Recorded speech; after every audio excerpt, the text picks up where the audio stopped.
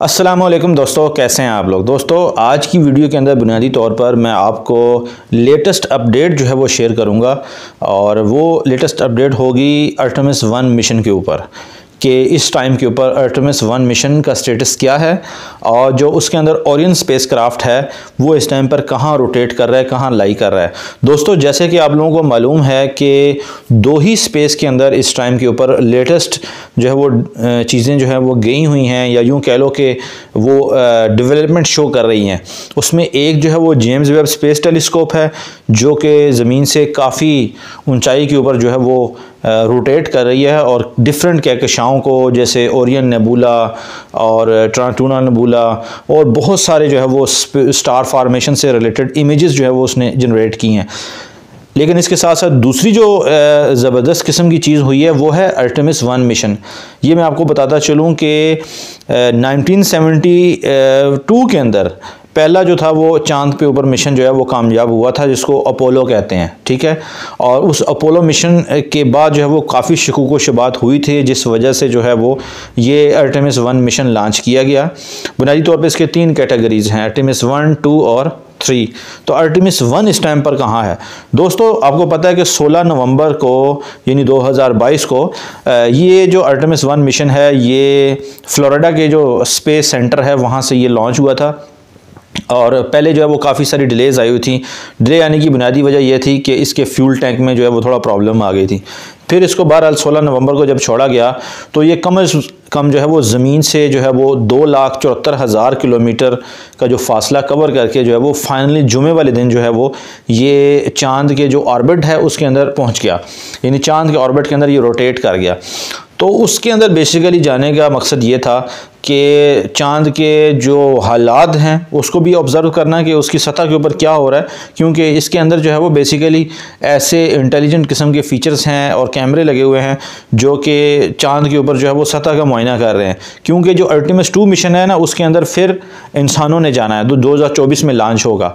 उसके बाद अल्टीमस three mission है, जिसके अंदर बुनियादी तौर पर इंसानों ने फिर लैंड भी करना है चाँद के ऊपर। तो उससे पहले जो है वो मुख्तलिफ़ टेस्ट परफॉर्म कर रहे हैं। मुख्तलिफ़ जो है वो हालात का जायज़ा लिया जा रहा है कि आया कि ऐसा मिशन जो है वो जाने के बाद उसकी वापसी भी पॉसिबल है या नहीं है।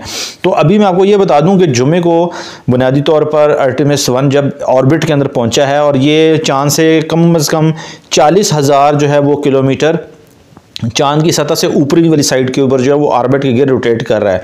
अब चाँद जो है वो वो भी इतना छोटा नहीं है, काफ़ी बड़ा है और उसको तकरीबन यानी ये जो ओरियन स्पेस क्राफ्ट है एक गोला सा है, गोल सा जो है वो एक गेंद टाइप है, ये स्पेस क्राफ्ट है। ये रोटेट जो कर रहा है, चाँद के इर्द गिर्द, उसकी तकरीबन एक हफ़्ता लेगा सिर्फ़ आधा रोटेशन कंप्लीट करने में। और आधा कंप्लीट करने के बाद जो है वो ये फिर चाँद के ऑर्बिट से वापस निकल जाएगा। अब ये वापसी का फिर सफ़र करेगा। यानी एक हफ़्ते के बाद ये वापसी का सफ़र करेगा और ठीक 11 दिसंबर मेरे ख्याल से 11 दिसंबर को ये वापस जो है वो ज़मीन के ऊपर आएगा और पैसिफिक ओशन के अंदर जो है वो अपने आप को ये लैंड करवाएगा। ठीक है? अगर तो ये बकरियत सही लैंडिंग हो जाती है तो फिर समझ लें कि आर्टिमिस वन मिशन जो है वो कंप्लीट सक्सेसफुल हो गया। लेकिन फिर भी अगर ये लैंडिंग नहीं भी करता तो काफ़ी चीज़ें कुछ सीखने को मिल जाती हैं साइंटिस्ट को, और फ्यूचर के अंदर जो है वो उसमें मज़ीद बेहतरी की गुंजाइश हो जाती है। दोस्तों, मैं आपको ये बता दूँ कि अर्टिमिस वन मिशन ने रिकॉर्ड कायम किया है इस जो है वो अपोलो जो मिशन है ना उसके मुकाबले में।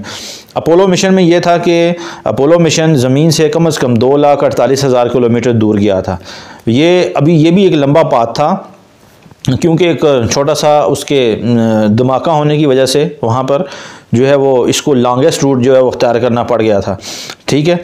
और ये लॉन्गेस्ट रूट किसी भी वजह से हो सकता है जैसे कि कोई आ, आ, क्या कहते हैं शॉब साकब आज आ रहे होते हैं तो उसको लॉन्गेस्ट पाथ फिर करना पड़ता है। तो ये लॉन्गेस्ट पार्ट था। लेकिन जो अर्टिमिस वन है इसने अपोलो से भी ज़्यादा डिस्टेंस कवर किया है। जैसे मैंने आपको बताया ना दो लाख छिहत्तर हज़ार किलोमीटर के करीब जो है वो इसने फासला कवर किया है। तो अभी जो है वो इसने लॉन्गेस्ट जो है वो डिस्टेंस कवर किया है, यानी लंबा रूट अख्तियार किया है। क्योंकि जब आपको पता है कि जब एक चीज़ रोटेट करती है, स्यारे के गिर्द गिर्द तो वो जो है वो उसके कुछ हिस्से ऐसे होते हैं जहाँ पर वो उस चीज़ के बिल्कुल नज़दीक से गुजर रहा होता है और कुछ हिस्से ऐसे होते हैं जिसमें वो दूर से गुजर रहा होता है। तो लॉन्गेस्ट रूट को इसने फॉलो किए बेसिकली क्योंकि आपको पता है कि चाँद के कुछ हिस्से कुतबी हैं, शुमाली में हैं कुछ हिस्से जो है वो कुतबी जनूबी के अंदर है। तो उनको बेसिकली डिस्कवर करना था उनकी सतह के ऊपर क्या होगा, क्यों हो रहा है। तो ये अब फाइनली जो है वो एक हफ़्ते के बाद कम से कम जो है ये चाँद का जो मदार है, जिसके अंदर ये रोटेट कर रहा है, उसमें आपको पता है कि मैंने जैसे आपको बताया कि आधा सफ़र तय करेगा और फिर उसके बाद जो है वो अपने मदार से बाहर निकल आएगा और वापस चलेगा अपने ज़मीन की तरफ़ उसका सफ़र स्टार्ट हो जाएगा। तो ये थी लेटेस्ट अपडेट इन आपको जो है वो जैसे जैसे प्रोग्रेस होती जाएगी, आपको जो है वो ज़रूर शेयर करेंगे। अगली वीडियो तक के लिए हमें इजाज़त दें। अल्लाह हाफिज़।